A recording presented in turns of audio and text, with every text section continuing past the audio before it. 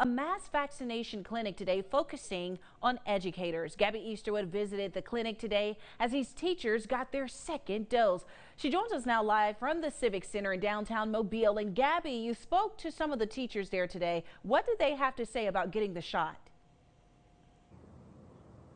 Well, all of the educators I spoke to, Amber, had very positive attitudes of finally getting that second dose and now being fully vaccinated so they can feel safer going to the classroom to make sure they are healthy as well as their students. All right, that's it. Yay. Educators getting their second doses today, including Sterling Spencer, an English teacher at Grand Bay Middle School. I am extremely excited to have my second dose of the vaccine and know that I am going in and not only am I safe, but in a way I am also showing my students that it is safe to take things like vaccines. You should trust the science for things and you need to make sure you're making informed and smart decisions. As an educator, Spencer feels getting the vaccine is a responsibility. I think it will. I think for many people, the worry of us getting sick extends beyond just our health, but in a way where we have to think about how that's going to affect how we're going to be able to teach, whether or not that means our students will be behind on something. It gives us a moment of respite in this kind of time, and I'm happy to have it. Not all of the over 2,000 who drove through to be vaccinated today were teachers.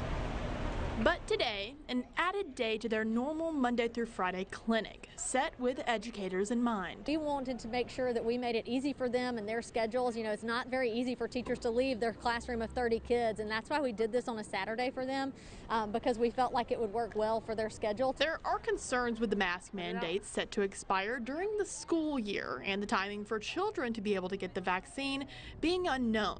But overall, it's an optimistic feeling as educators like Spencer headed out of the Civic Center and into the classroom, now fully vaccinated. I encourage anyone who can and is able to get the vaccine to do so. It'll help curb it and we'll also be all safer that way. In Mobile, I'm Gabby Easterwood at WKRG News 5. Now, this was not the only vaccination clinic that USA Health held. There was also one over in Robertsdale this week for the Baldwin County Public School System, where they vaccinated over 2,200 of their employees. So, all of this really just to aim for those people in those classrooms, the students and the teachers, to feel more safe. Reporting live in downtown Mobile, I'm Gabby Easterwood at WKRG News 5.